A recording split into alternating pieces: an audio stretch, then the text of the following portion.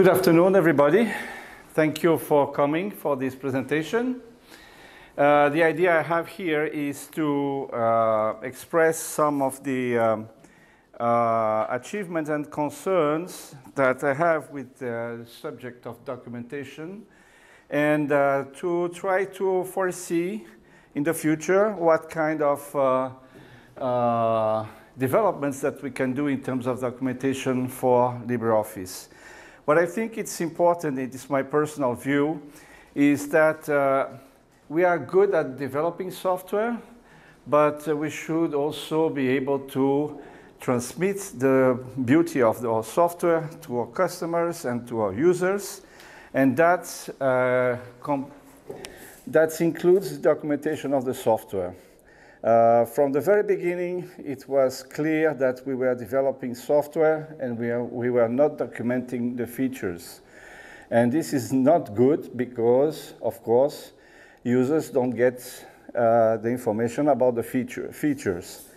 So that's important for us. And uh, what we have at the moment in terms of documentation, it's a very broad uh, subject, and uh, it includes the help, it includes the user guides, it includes technical doc documentation of the technical aspects of the software, and many other aspects, as well as, for example, new medias and new uh, forms of, uh, of uh, uh media, okay?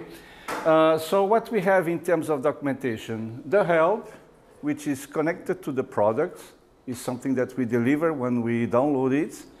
The guides, which is written by the community, and it's available to increase the user awareness of the, of the features. Uh, the API, which is this focus for development and uh, also for some advanced users.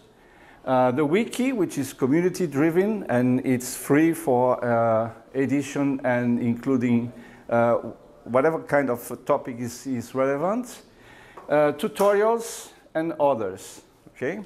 Well, the help for help. Okay? This is a situation that we have. Uh, the help is, is, uh, is an application that uh, uh, is written in XML. Okay? Uh, XML is complicated. Okay? It's not very readable. it's something that we use. It has some advantage, but also it's uh, not an easy uh, way to edit information, okay? We, uh, the help is online and offline, and also it's a steep entry barrier, okay? If you have to explain the XML that we use to someone that is just coming, that takes a lot of uh, work and a lot of time to get familiar with the, the help. And uh, also, in order to um, see what are the results of the help, you also need to uh, likely have a build of LibreOffice. And also the help also has to address the translations. So everything is already in place in terms of XML. But again, for the user, it's not, the, the editor of the help is not so easy. So what's XML? We, you are used, whoever already read the help uh, in source code, we have that kind of uh, uh, uh verbose uh, editing. No? You absolutely need to be familiar with the, the, the XMLs. Uh, we need to build the, the, the software. It's very easy to make mistakes. It's very easy to break, break the, the DTD. Okay, so again, this is knowledge that uh, people uh, need to be uh, sort of a developer to really address that. And steep entry barrier, okay? Very often I get in the chats, in Telegram, uh, shall we keep the XML? Is there anything else that we can use to improve the access of uh, the help? Some requirements of these new tools, okay, uh, support for the translation in the build, provide ways to support translation tools such as Weblate, uh, be easy to learn for new volunteers, produce online and offline help pages. Okay, so I got a lot of, uh, of suggestions. Okay, uh, people always come with uh, bright ideas. You know, let's do that.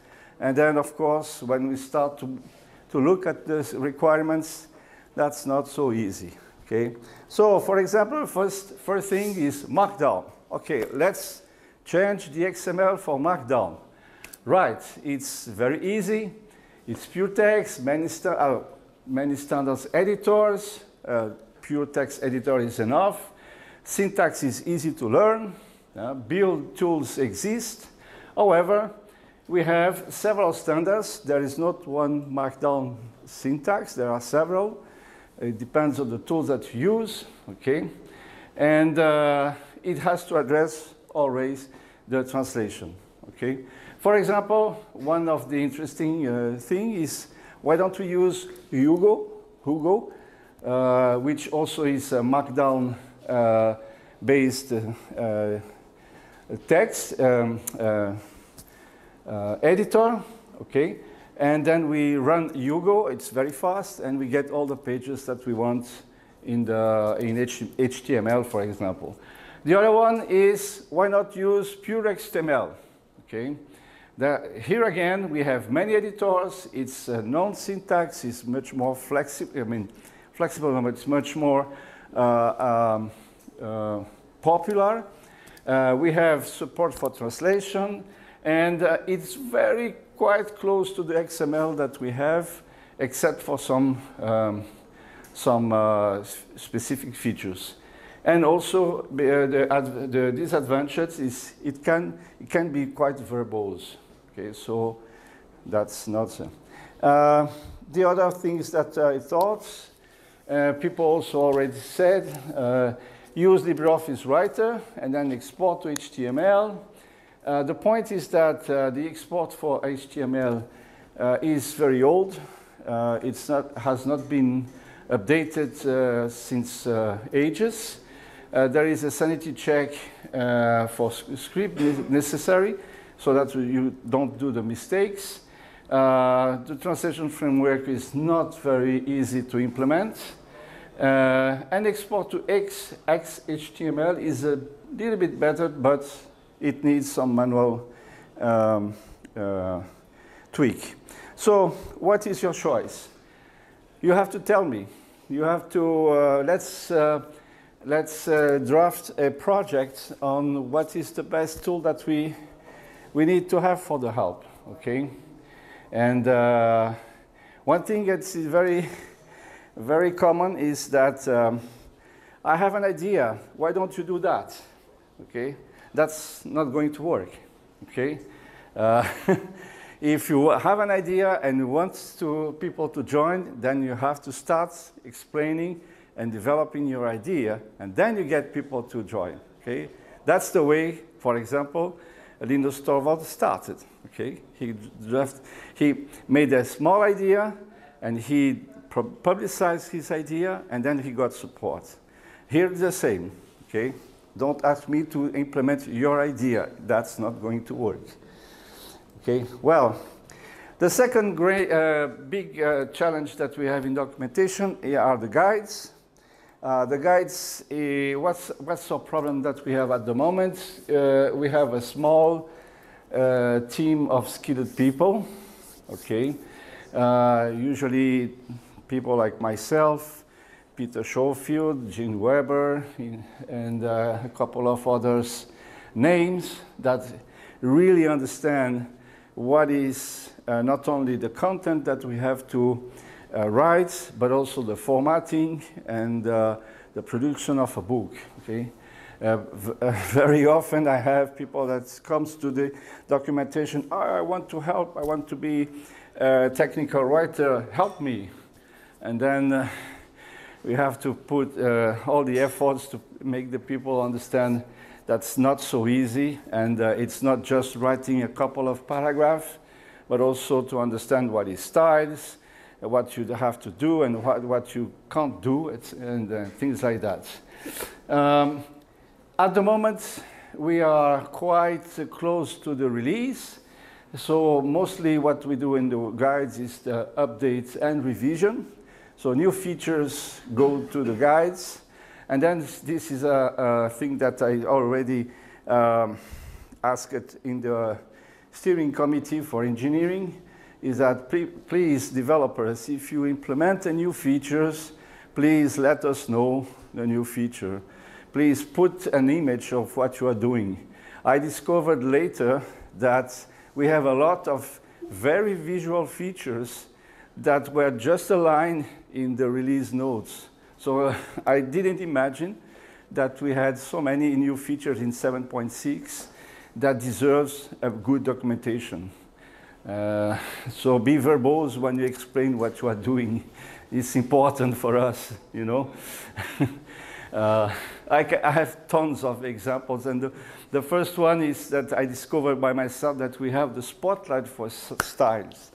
This is a wonderful feature. And uh, if uh, I discovered by, by chance, you know, and I say, oh my God, if you write a book and you use styles, the spotlight of styles is an amazing uh, feature. Okay, uh, the guys you produce um, PDFs and ODT. Uh, I am a bit, at the moment, a bit skeptic on uh, the effectiveness of publishing PDFs, uh, 500 pages PDF for user guides. I think that uh, it is important that we make the, the contents more accessible for the people in the sense that it make it more popular. And um, we are very good in producing PDFs and ODT, but the people that are used now, the, the Z generation or the Y generation that use only uh, cell phones, uh, do they want to download a PDF and read on the phone? That's not going to, to work, okay? So I uh, invested quite a lot in terms of online reading. And uh, I evaluated several tools to uh, make my life easier. At the moment, I use this extension, writer to HTML extension, and I create this uh, small uh, web server uh, were called the bookshelf. Okay, sorry, this is in Portuguese, but it's the bookshelf. And I have all the guides available for download, not only on PDF, on ODF, uh, but also on, on, on um, HTML. But uh, the point is that to transform uh, 500 pages book into uh, a readable HTML, it requires a lot of sanity checking on the books, okay? So I had to run scripts to check the anchoring of the images, the anchoring of the frames, uh, existence of direct formatting, uh, several issues with lists, uh, and fake, uh, I call that fake list, which is a um, body text with a bullet, and not a specific style. So that makes quite a lot of work to transform it, but it, it's, at the end, it works, okay? So this is the layout of one of the guides. I was able to put the table of contents of the chapter here, uh, some auxiliary information here, and the contents uh, there, okay? And also all the books, uh, all the chapters are accessible on the left, sorry, on the right, Okay, so this is the layout I have. Okay, that's not so easy. Why it's not so easy? Because when I export into HTML, then I have to manually uh, introduce JavaScript and CSS to get the layout of the page like that. Okay, so it's not so easy. I will explain some of the details here. This is the way we see a chapter. We have the logo, we have the guide name, the title, subtitle, the copyright, the table of contents, and the contents of the chapter. This is the way that you leave a, uh, a book, you know. It's a sequence of, of um, contents. Then you have to shuffle. These are sections, and you have to shuffle that to get the other layouts. So I have to introduce sections, these sections then, so that I can get the sections here, okay? So you may recognize that we have the table of contents on the left, uh, chapter and sub subtitle, guide name, etc. And for the, for the sake of uh, um, usability, I also introduced a couple of more uh, sections, okay, so that I can have the layouts that I show uh, in, the, in the. So, what is all this effort? This is at the moment very manual, and uh, I'm uh, just wondering if we can evolve and have what I call the web output, which is I have a document and uh, can I export this document into a true web web system, a web um, page, you know, because this is the book page and this is the web page. So it's different, but the content is the same, okay?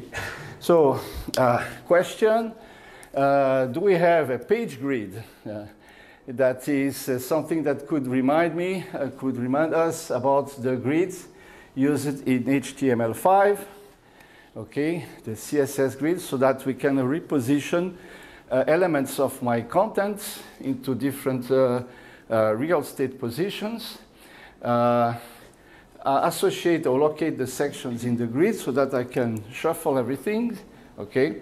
Uh, so my question is, can I get an attribute of page grid ID into my section? These, of course, are extensions of the ODF. Uh, this is, uh, okay. And uh, the idea is to have that, okay? Uh, this is a, a, page style, and I could have uh, grids to divide my page styles into several others way. And then I can uh, attribute the sections. how about translation? Okay, translation is done by communities. It's a lot of work. It's a lot of work. Everybody knows that. Leo knows that. I know that. Uh, it takes a lot of time to translate. Uh, I would like to have translation assi assistance. Fortunately, we started to use Weblate for guides to make an evaluation of how it's effective or not. But machine translation is something that I would like very much to consider either using external service or an internal service with a uh, FOSS project named LibreTranslate. Well, uh, the API documentation is something I try to, to, to touch. Uh, this, um, uh, it's created by developers. It's automatic, uh, automatic um, uh, export of the code, the IDL thing. But for the end user, and for whoever wants to make a script, this is very, very hard to read. Okay, it's not designed for the end user.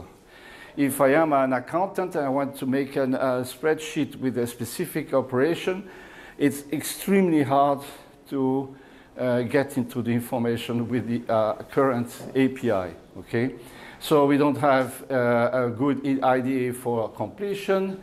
Uh, I know that there is a experimental code, but it's not complete. It's very hard to navigate in the right APA page. Let me uh, just uh, challenge you to get a specific paragraph into a text document. This is just crazy. Uh, you need to traverse a lot of uh, collections of uh, things. Uh, the notation is not user-friendly, critical lack of code snippets, etc. This is an example of what that is create cursor by range. You really, really need to be a developer to read that and apply it in your script. Okay, so that's uh, my uh, presentation ends here.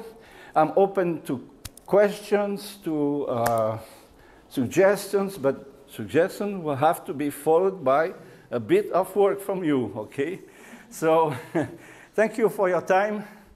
And uh, well, I'm open for questions.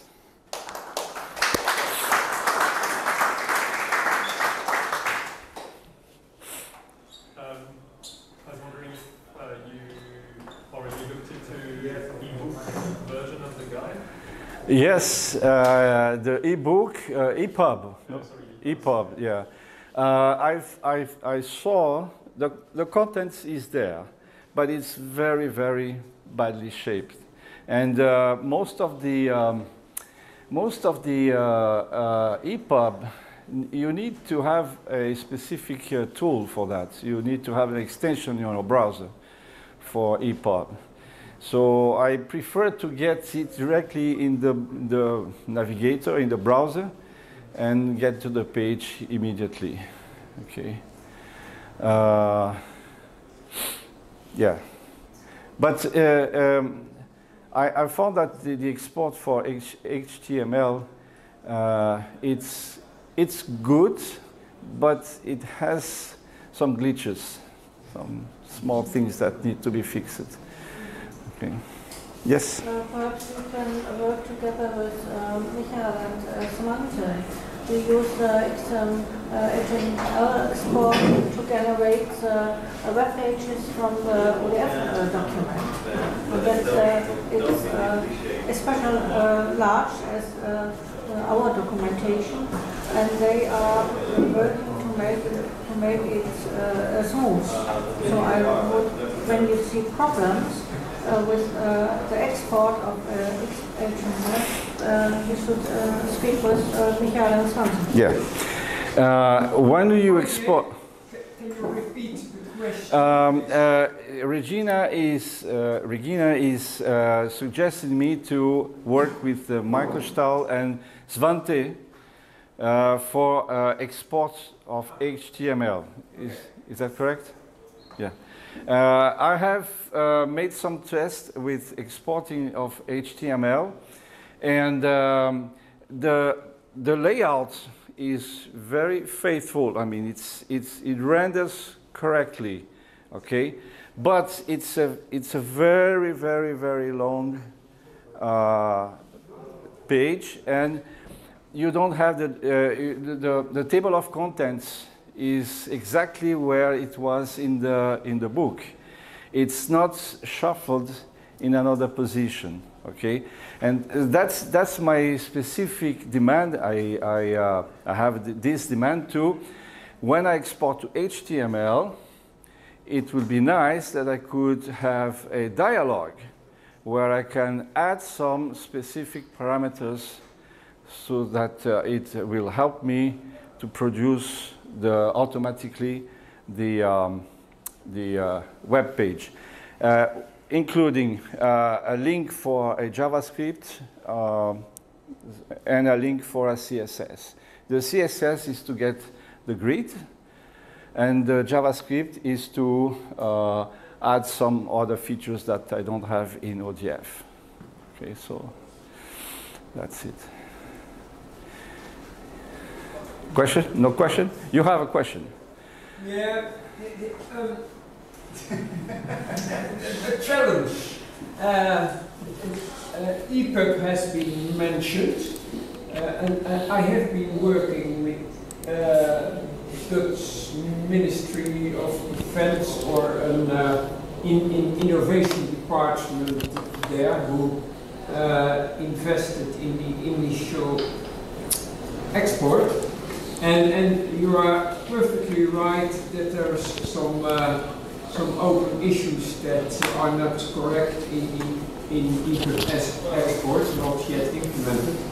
Um, on the other hand, um, an EPUB has some advantages that it's it's flexible, it shows on various devices, small and large, uh, manipulating your screen, and it, it allows scrolling. And, and there is an, an, an, an already an, uh, an expert dialogue. It has some uh, it has some advantages uh, connecting with library and metadata, etc. Um, but still, you may be right still you may be right that the, the, the, uh, the effort in, in improving uh, EPUB export to the level that is needed for this work is, is, is huge compared to the effort that is needed to get the HTML export work nicely and, and the manual tweaks, etc. Um, so, so would you be, um, uh, could you be challenged by, by making some comparison of, of the, the effort for route 1 and route 2? And, and it's, it's not something that I say, well, do that uh, just tonight. I, I, I think it might be very convincing to, to see uh, something like that. Difficult question, sorry. Yeah, I mean, uh, I've I made I made some tests. Um, um, I used the extension uh, that was available. Um, i- unfortunately, this extension is not very well maintained by the, his uh, author. Uh, so I may consider to come back to HTML and do the scripts that I use for the extension. I can eventually try to make it work with the um, export to HTML. Okay, so uh, I'm not close to any specific. Uh, uh, um, as long as I get the, the, the, the results I was showing here, uh, what is the tool? I don't care very much in the sense that, uh, um, well, it's, it's, uh, uh, I, I am focusing on the, the results. Okay, so, but uh, when I export, uh, for example, here, uh, let's put the, the draw guide and I read online. Okay, so this is what I have. Uh, and it's, you see it's quite fast. It's, it's just static HTML, so no servers, no database, no nothing. But uh, uh, as long as I get this kind of layout, or even something that is uh, even more better, but at the moment this is enough, okay? And um, it can be the export for HTML, or it can be the, uh, the extension. The point is that the current export to HTML, which is 4.0, is broken. Yeah. Uh, it's really need to be completely updated. Okay. Yeah, I, I, I love the, the I, I love the idea to get an, uh, to get an, uh, a lightweight output of, of, the, of the great content because that is obviously uh, your aim. Yes? Is the uh, math formulas exported? Is it German? Mathematics? Yeah. Uh, you can, you can, but uh, then uh, uh, you need to um, uh, get math, uh, math. There is a JavaScript uh, library specific for that. Um, Firefox has it internally. It renders all the equations nicely, but Chrome and uh, Edge, I don't think they have. So you need the JavaScript. And uh, uh, well, I consider the results quite good, at least on, on Firefox. We have, uh, we have exported uh, a part, uh, a form, a formula part from ODF uh, to uh, uh, including the formula uh, with this um, JavaScript edition and it's uh, rendered correctly. Yeah, yeah, it's very good. Yeah. Any question? Okay. Thank you very much. Good ideas need to follow uh, at least with a proof of concept.